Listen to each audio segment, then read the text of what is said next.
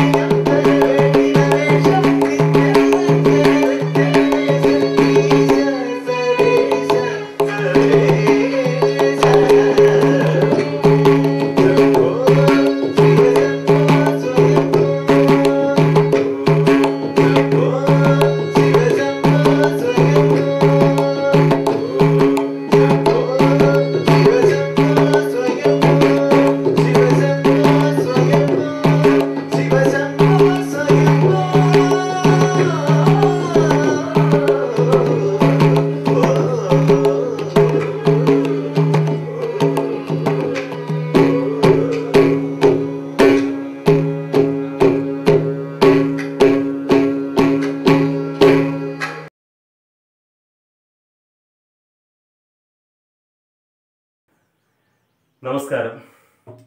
ഇന്ന് നമ്മൾ കുറച്ചുകൂടി നിങ്ങൾക്ക് ഇഷ്ടപ്പെടുന്ന ഒരു പന്ത്രണ്ട് മാത്രയുടെ ഒരു ചൊല്ല് പറയാം. ഇന്നലെ നമ്മൾ പഠിച്ചത് മൂന്ന് എന്ന് പറയുന്ന ആ ഒരു കാര്യത്തെ നമ്മൾ നാല് പ്രാവശ്യം വായിച്ചു കഴിഞ്ഞാൽ അത് പന്ത്രണ്ട് മാത്രമായിട്ട് മാറും എന്ന് പറഞ്ഞു. അപ്പോൾ അതിന് നമ്മൾ ഇന്ന് പഠിക്കുന്നത് ദൊംതരിക്കിട്ട വായിച്ചിട്ട് തരിതരിതവും വായിക്കാം. അപ്പോൾ ഇത് രണ്ടും മൂന്ന് മാത്രം തന്നെയാണ്. ദൊംതരിക്കിട്ട തരിതരിതവും.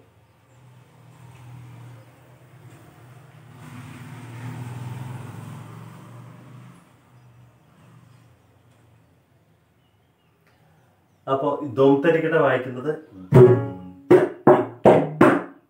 അതുപോലെ തരിതരിത്വം വായിക്കേണ്ടത് ദോം ഇവിടെ മാത്രം വായിച്ചാൽ മതി. അപ്പോൾ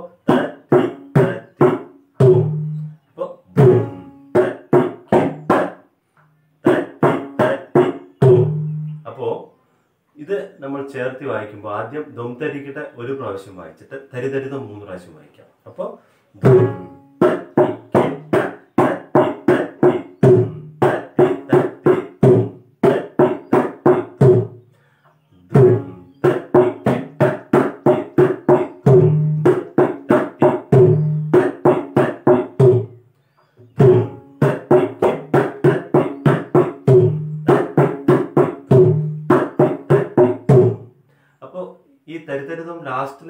ചെറിയൊരു കാര്യമുണ്ട്. അത് നമ്മൾ താളം പിടിച്ച് പറയുമ്പോൾ മനസ്സിലാവും.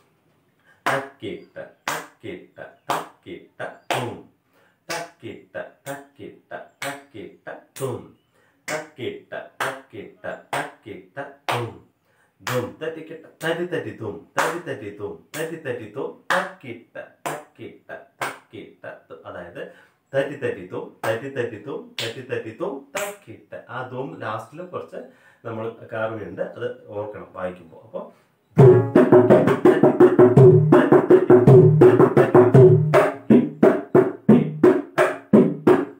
അങ്ങനെ വായിക്കണം. അപ്പോൾ ഇത് മുഴുവനായിട്ട് മൃദംഗത്തിൽ വായിച്ചു വരുമ്പോൾ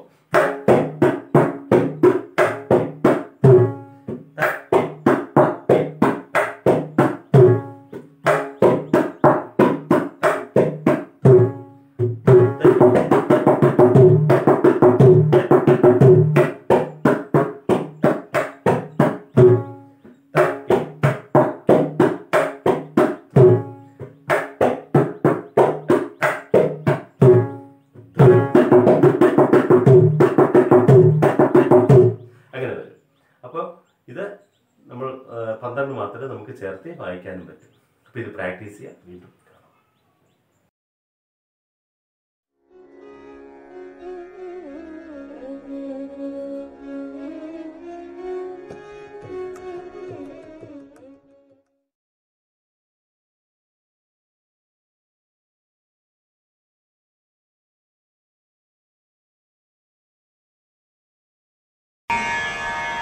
നമ്മൾ കഴിഞ്ഞ ക്ലാസ് മുതൽ മോഹന രാഗത്തിലെ ജതിസ്വരമാണല്ലോ പഠിക്കുന്നത്. അതിൽ കഴിഞ്ഞ ക്ലാസ്സിൽ പല്ലവിയിലെ ആദ്യത്തെ രണ്ട് വരി നമ്മൾ പഠിച്ചു ഇന്ന് നമുക്കതിന്റെ അടുത്ത രണ്ട് വരി നോക്കാം